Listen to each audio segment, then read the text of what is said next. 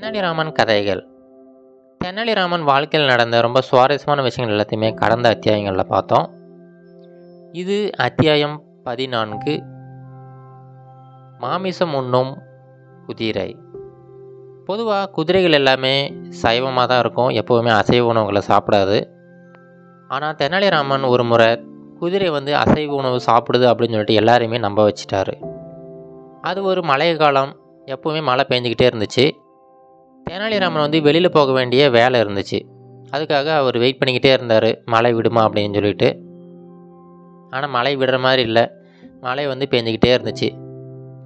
அவருமே கொஞ்ச நேரம் வெயிட் பண்ணி வெயிட் பண்ணி பார்த்தாரு. அதுக்கப்புறம் கொஞ்சமாக மழை விட்ட உடனே அவர் குதிரையை எடுத்துக்கிட்டு அங்கேருந்து கிளம்ப ஆரம்பிச்சிட்டாரு. இப்போ என்னென்னா போகிற வழியில் திடீர்னு மழை திரும்பவும் ஆரம்பிச்சிருச்சு.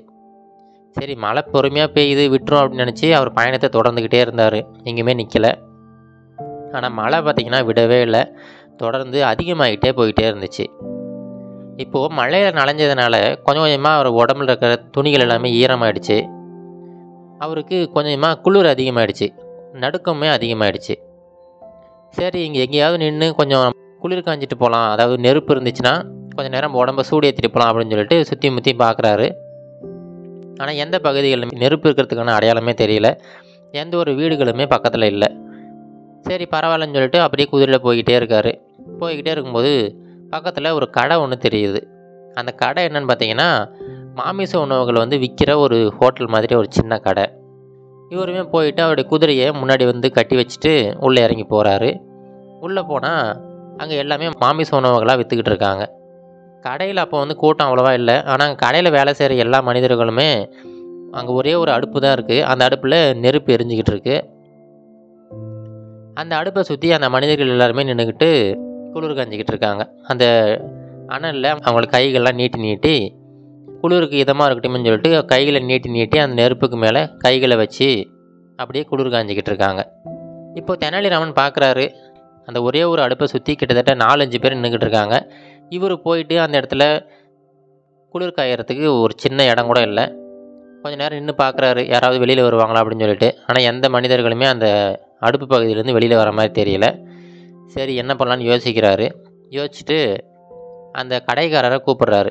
ஐயா அப்படின்னு சொல்லிட்டு கூப்பிட்றாரு. உடனே கடைக்காரருமே அந்த அடுப்பு பக்கத்தில் இருந்துக்கிட்டு என்னங்க வேணும் அப்படின்னு சொல்லிட்டு கேட்குறாரு உடனே இவர் சொல்கிறாரு ஐயா என்னுடைய குதிரைக்கு கறி வடை இருந்தால் கொடுங்க அப்படின்னு சொல்லிட்டு கேட்குறாரு உடனே எல்லாருமே டக்குன்னு திரும்பி பார்க்குறாங்க ஐயா என்ன கேட்குறீங்க குதிரை வந்து எப்படி கறி சாப்பிடும்? குதிரை வந்து மாமிசம்லாம் சாப்பிடாதில்ல. அது வந்து புல் இந்த மாதிரி சைவ உணவுகள் தானே சாப்பிடும் அப்படின்னு சொல்லிட்டு எல்லாருமே ஆச்சரியமாக கேட்குறாங்க உடனே தெனாலிராமன் சொல்கிறாரு அப்படியெல்லாம் இல்லைங்கய்யா என்னுடைய குதிரை வந்து மாமிச உணவுகளை விரும்பி சாப்பிடும். நீங்கள் எனக்காக ஒரு நாலு கறி வடை கொடுங்க அப்படின்னு சொல்லிட்டு மறுபடியும் கேட்குறாரு உடனே அங்கே இருக்கிற எல்லாருக்குமே ஆச்சரியம். அது என்ன? ஒரு குதிரை வந்து மாமிச உணவு சாப்பிடுதாமே. அது எப்படி சாத்தியமாகும்? இது வந்து இயற்கைக்கு புறம்பாக இருக்குது எப்படி இப்படி ஒரு குதிரை இருக்கும்? அது அது எந்த மாதிரி இருக்கும்? அப்படின்னு சொல்லிட்டு எல்லாருக்குமே ஒரு விதமான தூண்டுதல் ஏற்படுது. உடனே ஒரு மனிதர் வந்து நான் போய் அந்த குதிரையை பார்த்துட்டு வரேன்ப்பா அது எப்படி தான் இருக்குது நான் பார்க்கணும் அப்படின்னு சொல்லிட்டு வெளியில் வராரு. சரி அவர் போனோடனே அவரை தொடர்ந்து அங்கே இருக்கிற எல்லா மனிதர்களுமே வெளியில் போய் பார்க்குறாங்க.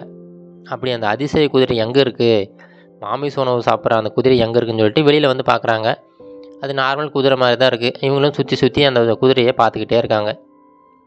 அந்த சமயத்தை பயன்படுத்தி தெனாலிராமன் உள்ளே போயிட்டு அந்த அடுப்பு பக்கத்தில் அவருடைய துணிகள் எல்லாமே அப்படியே காய வைக்கிறாரு. காய வச்சுட்டு பொறுமையாக அங்கேயே ஒரு நாலஞ்சு நிமிஷம் அவருடைய உடம்ப வந்து சூடாக்கிக்கிட்டே அங்கேயே நிற்கிறாரு இப்போ அவருடைய துணிகள் எல்லாமே காஞ்சிடுச்சு. மழையுமே கொஞ்சம் கொஞ்சமாக நிற்க ஆரம்பிச்சிருச்சு. சரி வந்த வேலை முடிஞ்சுது அப்படின்னு சொல்லிட்டு வெளியில் வராரு. இப்போ அந்த கடைக்காரர் அவங்க போனாங்கள்ல அந்த எல்லா மனிதர்களுமே கடைக்குள்ளே வராங்க. வந்துட்டு ஐயா நீங்கள் சொல்கிறது நம்ப முடியலையே. இந்த குதிரை சாதாரண குதிரை மாதிரி தான் இருக்குது அப்படிங்கிறாங்க. அப்படிங்களா? சரி பரவாயில்ல. நீங்கள் ஒரு நாலு கறி வடை கொடுங்க அப்படின்னு சொல்லிட்டு வாங்குறாரு.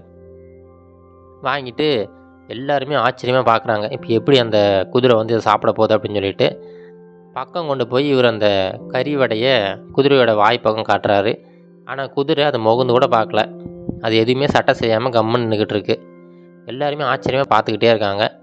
இவர் அது சாப்பிடாத உடனே என்ன பண்ணுறாரு பக்கத்தில் ஒரு நாய் இருக்குது அந்த நாய்கிட்ட அந்த நாலு வடையுமே வச்சுட்டு அவர் பாட்டு குதிரையை எடுத்துகிட்டு கிளம்பி போயிடுறாரு. இப்போ அங்கே இருக்கிற மனிதர்கள் எல்லாமே முதல்ல குதிரையை தான் ஆச்சரியமாக பார்த்துக்கிட்டு இருந்தாங்க. இப்போது தெனாலிராமனை ஆச்சரியமாக பார்க்க ஆரம்பிச்சிட்டாங்க. தெனாலிராமனுமே அங்கேருந்து கிளம்பி அவரோட வேலையை பார்க்க போயிட்டார். இப்போ தான் அந்த மனிதர்களுக்கு புரியுது தெனாலிராமன் வந்து நம்ம வந்து அந்த அடுப்புக்கிட்டேருந்து வெளியில் வரணும் அப்படிங்கிறதுக்காக ஒரு நம்மளை வந்து ட்ரிக்காக ஏமாற்றிட்டார் அப்படின்னு சொல்லிட்டு எல்லாருக்கும் புரியுது. அப்போ தான் அந்த மனிதர்களுக்கு தெனாலிராமன்னா யார் அவர் எப்படி இந்த மாதிரி ட்ரிக்காக பண்ணுற விஷயங்கள்லாம் எவ்வளோ சுலபமாக பண்ணுறாரு அவர் விகடகவி அப்படிங்கிற எல்லா விஷயங்களுமே அந்த மனிதர்களுக்கு அப்போ தான் தெரிய வருது. நாம் இதோட இந்த அத்தியாயத்தை முடிச்சுக்கலாங்க. மீண்டும் அடுத்த அத்தியாயத்தில் தெனாலிராமன் வாழ்க்கையில் நடந்த ரொம்ப சுவாரஸ்யமான விஷயங்கள் எல்லாத்தையுமே பார்ப்போம். இது கரேஜ் டு ஆக்டிவ் மோட்டிவேஷன் கதைகள்.